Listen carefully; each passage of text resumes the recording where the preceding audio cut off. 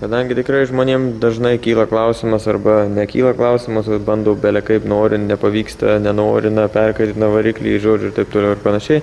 Tai BMW visų nuo, nuo nežinau, nuo E30 irgi taip pat nusiorina, tik tai, kad ten degimo nebūtina jungti, nes nėra cirkuliacinio varikliuko. Ir tik neklausykit, kas sako ten, kad varyt prieš kalniuką, ten reikia pastatyti, ten dar kažkokią nesąmonę, šlangas ten kokias maudinė, ten pilti į radiatorių tiesiai dar nesąmonį. Visiška nesąmonė.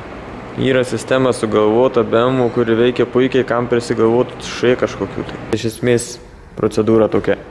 Įjungiam degimą, padarom pačią karščiausią temperatūrą salone, kad pūstų ventiliatorius kažkiek tais, paliekam taip, tada atsukam užpylimų kamštį, atsukam visus norinimo taškus, tai čia yra du šiuo atveju, čia ir čia.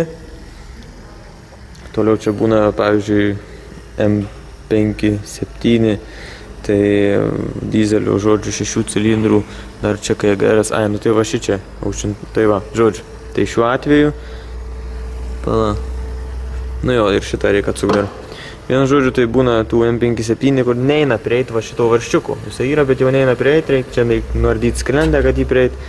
Tai vienu žodžiu, jo nereikia sukti, reikia sukti EGR šito šimtuvo varščiuką. Tai šitam 2 litrių, čia kai eina prieiti, jie abu atsukam.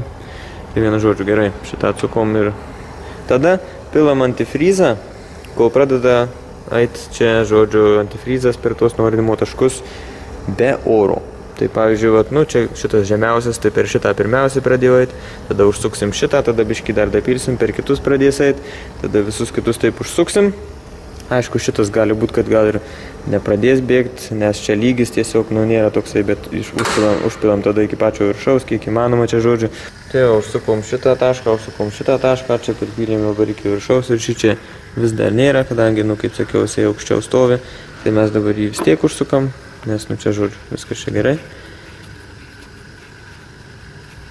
Ir esmė tame, kad jeigu čia stovi, ta prasme jau, nu, kaip kai aukščiau, tik tada gerai, bet jeigu, tarkim, per šitą nebėgtų dar, o čia būtų pilna, tai tada būtų negerai. Ir, bet, nu, ta prasme, tai nėra šis įmanoma, nes jisai žemiau yra ir niekada taip nebūna, kad stovi, vis tiek biškita ta leidžiasi.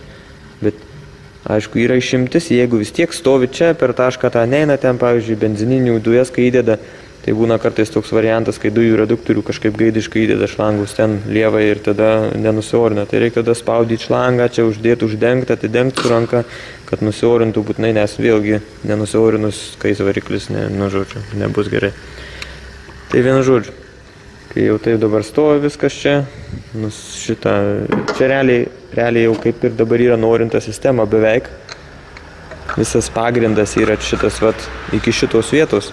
O toliau Dabar mes paimam, užvedam variklį, kaitinam iki darbinės temperatūros, užkaista iki darbinės, ten žodžiu dar pakaista. Aišku, pastebėm, kad nekiltų aukščiau darbinės, bet čia taip dar nebuvę, kad nenusiorintų, nebent ten būna kokia galvos tarpiniai keura ar ten aukštintuvas, kas ten negerai. Bet jeigu viskas gerai, tai taip nebūna, kad net, nu, nebuvę. Viskas, žodžiu, būna normaliai ir to labiau, kad čia yra pats bembas, taip, nu, ta prasme, oficialiai taip turi nusiorinti sistemą. Tai va, tada pradeda šilti šitą apatinį šlangą, ir galim tada užgesinti, nu, ta prasme, galim užgesinti, palauk, kol pravės, arba jeigu čia būna kai kurių bemų nelabai gali atsukti ant karšto, nes lėgis didelis ir čia pučia tą antifrizą stiprokai, nu, vis tiek biški išpučia ir ne, mes nematysim lygio normalaus, tai reikia palaukti, o kitų būna senesnių ypač, tai gali atsukti, pamatai, ten lygis turi būti virš maksimum biški, kaip karštas yra, tada jeigu reikia, dapilom ir viskas. Arba geriausia kai užkaista ir ta šlanga pradeda šilt, užgesinam, atvėsta, žodžiu, variklis, nu, gali nepilnai atvėsti, bet atvėsta, kol čia šlangos gaunasi jau skystos, tada atsukam, dapilam trūkumą ir viskas, baigėsi mūsų norinimas.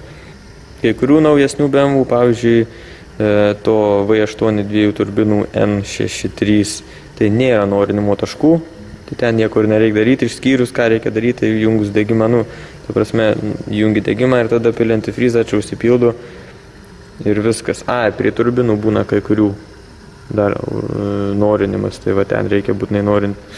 Jeigu jų nėra, tai geriausia šlangutės numaut, kad nusorintų turbinų aušinimas, nes ten, žodžiu, nu, ten šis ta sistema tokia biški durnai padaryta, bet esmė jo. O šiaip pačio variklio tos sistemos, tai kad variklis nekaistų, tai nėra norinimo. Ir jis, nu, turi nusiaurinti užkurtas, kaip ir kitų mašinų daugumos realiai. Dar vienas dalykas, kai užkuriam, negalima atsakinėti norinimo taškų, nes galima taip užorinti sistemą, kad oro prisigaudys. Nes kai kurios atsukus taškus gali nepurkšti antifrizą, bet kaip tik traukti. Tai gaunasi oro pritraukia, tada vėl oro kamštis ir suknisam viską. Taip kad kai užvedam, viskas turi būti užsukta. Išskyrus galim atsukti šitą užpylimo kamštį, kol dar ne, nepašilęs variklis ir pažiūrėti, ar nereikia dapil dar biškį, bet čia gaunasi lygis kaip ir yra ten dabar normaliai, tai užsuksim mes jį. Ir žodžiu jo, kaip ir sakiau, užkaitinam normaliai, ta šlanga apatinį pradeda šilt, galima gesinti ir tada atvėsus varikliui papildyti trūkumą. Viskas. Dar tuose naujesniuose BMW'uose, kur yra elektriniai siurbliai aušinimu, tai ten per kompą galima paleisti programą, tiksliau, fu, ne per kompą, jie atsisėdi į saloną, ten gazą nuspaudi, palaikai įsijungia, žodžiu, tą pompą ir nusiorina sistemą. Bet nelabai yra prasmės to, nes tu užvedi variklį, jinai įsijungia irgi nusiorina sistemą. Tik tai, kad, nu, žodžiu, ten. Iš esmės nelabai verta ten taip daryti. Bet aišku, praleidus tą sistemą, tai biški praeina visokiais greičiais, ta pompa įsijungia ir pravaro normaliai nuorina. Tai žodžiu, nemaišau ir tas norinimas, aišku. Bet ten jau yra kas kita, ten irgi nėra norinimo taškų. O gal yra kai kurių, nežinau. Nu, bet esmė, kad jeigu yra norinimo taškai, turim būtinai juos naudoti ir taip, kaip aš čia dabar jums sakiau.